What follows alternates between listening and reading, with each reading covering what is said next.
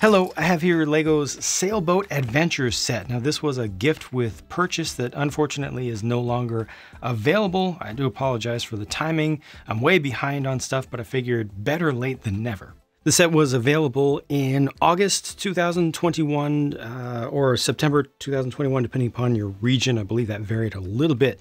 Uh, free with purchases at lego.com of $200 or 200 euros, which is more, or 200 British pounds, which is even more still. So it had quite a, a high uh, threshold to be able to get this, but there are a lot of pieces in the set itself 330.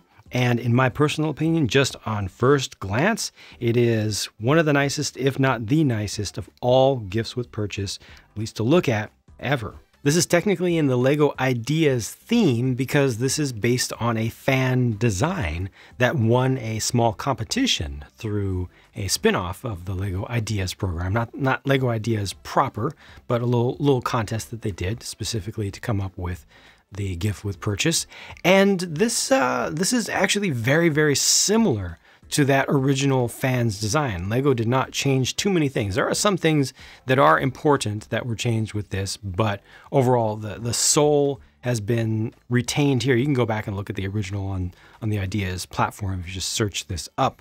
But the soul was retained here and most of the building techniques were retained as well. As you can see, it's built on a base to represent water that's just done with some medium azure plates, and then they've got little splashes of water represented by one by one clear plates and some some cheese slopes there. This has a little bit of interior as well. You can actually remove the cabin here as one subassembly. The interior is just, well, just that. Just a, what do you, what do you call it? It's just a table. I don't think there's even space to really sit uh, a figure on the side. You can stand a figure down in there uh, just barely. I think there is one angle that will allow you to stand a single figure below deck. No problem. I mean, it's nicer to have some interior than nothing. And this is fully built up, you know, using regular pieces. It doesn't use specialized stuff to create the hull, which is nice, you know, for a genuine Lego building experience. Lego used 1x3 and 1x4 printed tiles. These are relatively simple printed tiles to get that wood texture there, but that's in dark orange, which is kind of kind of fancy looking. You get a couple different colors, at least a couple different colors of gold used through this because there are some drum lacquered pieces and then a bunch of just regular molded pearl gold pieces. Seems like most of the pearl gold here is the, uh, that, that, that is the newer, the newer of the two pearl golds, but I think this piece here came out looking a little bit different, which even uh, kind of makes these look like the older pearl gold now that I think about it. And this looks like the newer pearl gold because they're still in transition there. Hmm. Yeah, it definitely looks a little bit more like the older pearl gold. That's not that's not a, an issue with the design. It's just kind of part of the production process. Uh, you got the, the drum lacquer piece right here also.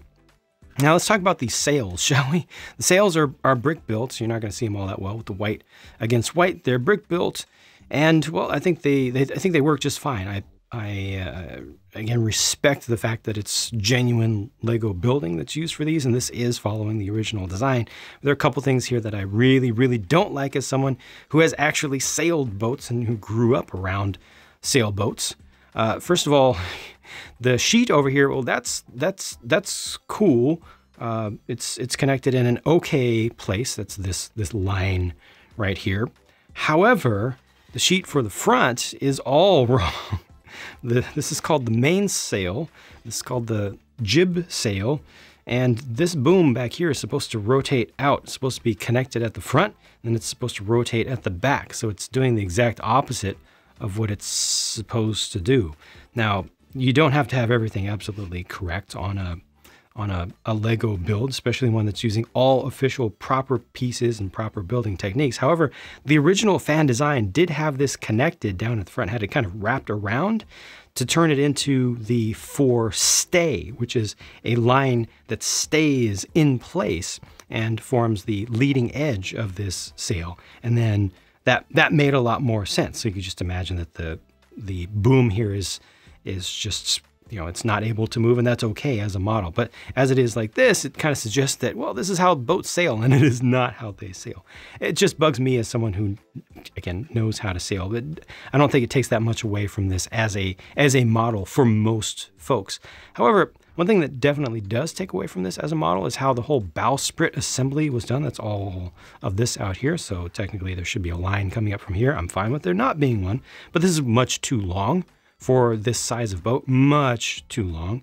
And how this all goes together here leaves a, a real stress point right here. You can see the bricks are already trying to separate. I've actually worked on trying to get that to stop happening, but it's difficult because bending in the the flex, which is really nice that these are in gold, but bending these these flex pipes in or flex tubes in always leaves a little bit of pressure in here and it's difficult to get that just right. Most of the time, uh, while I was while I was working on this, it would just kept it would just keep pushing the entire front end off. So I've I've massaged it. I've tried to get it bent just right to hold itself together, and it's almost there, but it's still pushing these pieces a bit apart. I'm having to kind of push that back in. But yeah, all this up here is just a little bit off, and I feel just detracts from the overall quality. The the hull is built nicely. The cabin is built nicely.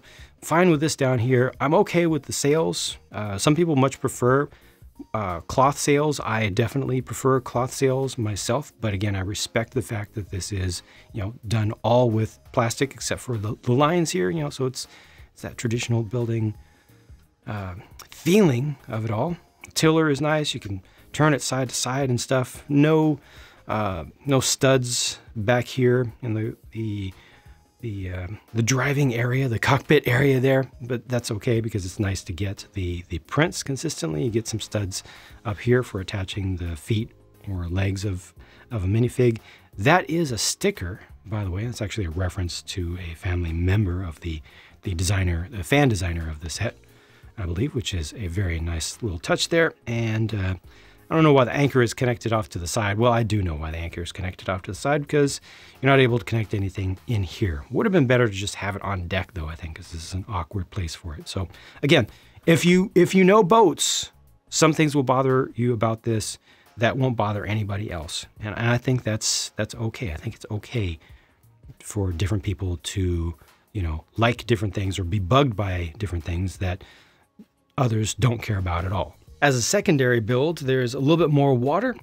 As a secondary build, there's a little bit more water and a couple of dolphins that are jumping out of the air. Now this was extra. This is very unnecessary, but very welcome for LEGO to put more animals, nice animals, semi-realistic to minifig size and scale and, and style uh, on the market. You know, I really appreciate that they they did this. These are both in sand blue. They've got a little bit of a base there to keep them into their their jumping pose like that, with a couple of uh, uh, uh, panels back here that are used to provide some elevation. They put some crystal pieces on here to represent water splashes. It's just nice. Like even this just by itself is a nice little display. Just just because. I mean, beautiful dolphins and crystalline waters and splash. Like, that's great. Finally, here are the two minifigures, and these are great as well. These are very appropriate, uh, very nice prints used for both. The production work is good. Uh, okay, there's no dual molding for the arms or legs, but this was a gift with purchase. Yeah, you had to pay a lot in order to get it at all in the, in the first place, but it was still a gift with purchase. You don't literally pay for this as part of of your purchase. It's completely optional. So, yeah, I mean, this could have been this could have been put on the market with just a single figure. It could have been put on the market with no figures whatsoever. I think either of those options would have been fine. So this is all a plus, and they're good. They're good little regular figures that fit into normal city life sort of stuff. No alternate faces for these. Again, no complaints, but they look nice. Also, each one came with a personal flotation device, so that was another nice bonus.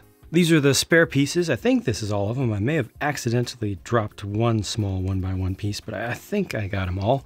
And then the sticker sheet again had two stickers on it, so that was just, you know, on the side So yeah, I really can't talk about value since it was a gift with purchase. I know there are some folks who like to take the position that, well, we all pay for these because it's factored into the price. Yeah, but the amount that we actually do pay for these with all of our purchases from from Lego combined is just, you know, like fractions, fractions, tiny fractions of a penny uh, over the years. It's all amortized out. Uh, this is this is just an extra. You know, this is something that Lego offers up as as a, a little bonus to make us feel better, to make us more frequently purchase from lego.com itself. And yes you can get better deals sometimes other places and that's why we all have our our own choices. Uh, when lego puts up these crazy high thresholds for gift with gifts with purchase like there was for this one $200 200 euros 200 pounds UK, uh, we have the option to just not spend that money, you know, and then we don't get the thing, and that's okay. We can purchase them on eBay. You know, when these things first come out, usually the prices don't go too too crazy as long as Lego produces enough of them. So uh, I really personally just don't have any complaints about that. Uh, when I when I personally want a gift with purchase, if the threshold is so high that I'm not going to be able to get it, then yeah, I can you know feel bad about that. But that's that's a personal thing, and again, I don't. Uh, I'm not going to fault Lego for that. I'm not, not going to go out on a rant and say, oh, Lego is being evil because corporate greed, they're a company. Of course, they're trying to make money, blah, blah, blah. The set itself, again, looks fantastic. Uh, it is super charming. Uh, you know, congrats to the fan designer who came up with this. Hopefully, the fan designer has been compensated for the design as well, even though this was a gift with purchase. Um, just the, the final product does definitely have some weird issues uh, at the bow. All, all, this stuff here is kind of weird. The rest of it is pretty dang cool. Pretty dang cool, and I'm rather happy with it. Let me know what you think down in the comments. Again, my apologies for taking so long to get this out there, but I'll talk to you again soon. Bye for now.